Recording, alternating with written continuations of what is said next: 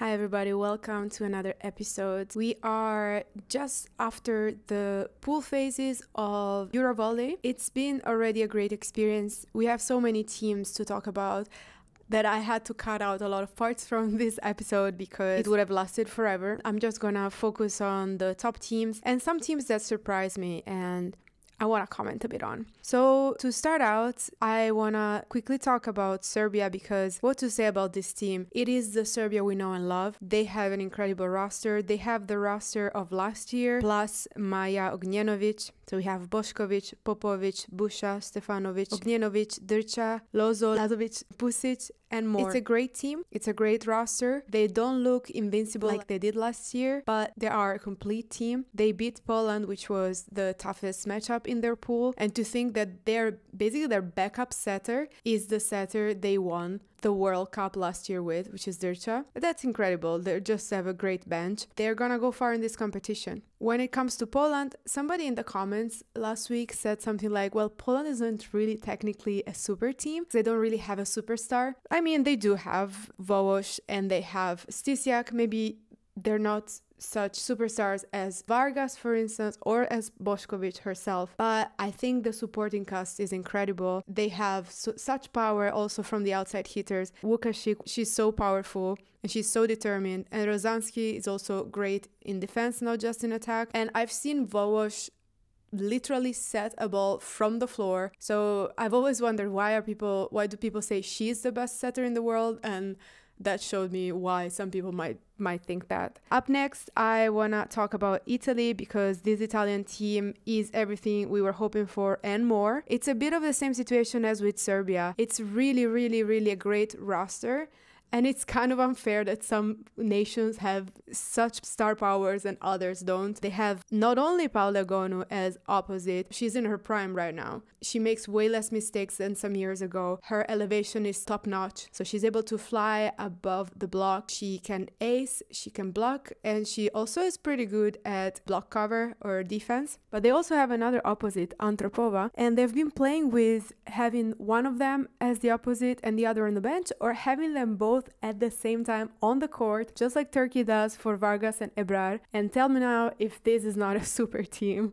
Antropova was born in Iceland to Russian parents and then grew up in Italy. So, in fact, from what I understand, she grew up Italian. She just didn't have the citizenship and she just got it recently, so she is able to join this Italian team. She's more than two meters tall. We don't have that many players that are above two meters. And the rest of the roster, they have these two uh, outside hitters, which makes me smile because they're so different from each other. Myriam Sylla, which is the captain of the Italian team, such an experienced player. She played with Imoco for a long time. Now she plays in Milan. She is very powerful. She gives it all on the floor. She gives it all when she spikes. She's really a power player. And on the other hand, we have Elena Pietrini, which is such a calm soul. That's that's the vibe she gives me when she plays. She's great at defense and famous for not wearing knee pads while uh, throwing herself on the floor. And when she's in the front row, she's mostly a smart player. So she'll hit a block out, she'll hit the back corner, she will tip. So really two opposites that complement each other. I want to say something about the Netherlands and Germany, which I was thinking of as the tier right below the super teams. How are they doing? Now, Germany unfortunately had an injury. Hanna Orthmann injured her knee in the very first match, and it seems like this team, the German team, hasn't recovered. On the one hand, they seem to be struggling psychologically. It happened several times that, for instance, in the matchup against Sweden, they were unable to bring themselves back, whereas Sweden was having fun, enjoying themselves. They looked a little bit like uh, a NCAA team. Germany was really stuck in a rut and they actually ended up losing that match. And I think they have a little bit of an issue with serve receive and maybe really not having Orthmann so unexpectedly really bothered them. And the Netherlands, they had a little bit of an easier pool. They were the best team of their pool. So they're they're a solid team. They're well organized. They seem to have good chemistry. They seem to be getting along with their coach, to be happy to play together. They played against France, and here's where I want to say something about France. First of all, I want you to have a look at what the Dutch team does when Cazaute is serving. It tells me two things. Firstly, that the Dutch coach pays a lot of attention to these things, and I really like that. So he's telling the players to behave differently according to who serves. Of course, all teams at a high level do that, but this is quite an extreme adaptation. So it also tells me that they see Cazaute as a threat. She might score on the back line, so she might ace on the back line. And immediately when she serves, they take a couple step forward, steps forward because actually the serve doesn't seem to be that long, so they need to cover short as well. Yeah, Cazaute is, in my opinion, currently the best player on this French team next to the very experienced middle blocker Christina Bauer. They have qualified for the eighth finals. Everything is a plus from now on. Happy to see them play this well.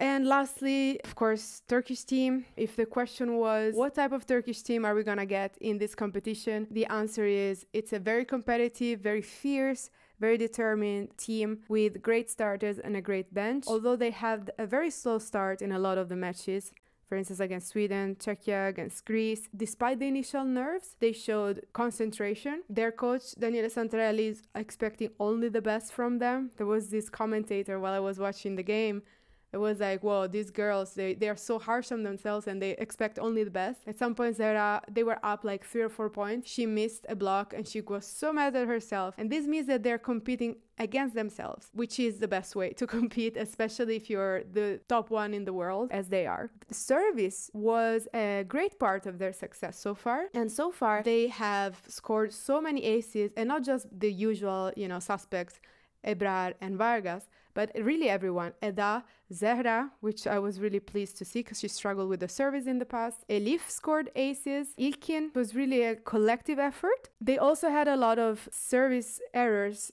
especially in the match against Greece, but I don't think that's too worrisome. I think in the important matches, they will get their act together when it comes to that. And when you try to ace so much, you're gonna end up with some misservice. That was all for this episode. Thank you guys so much for watching and see you next time.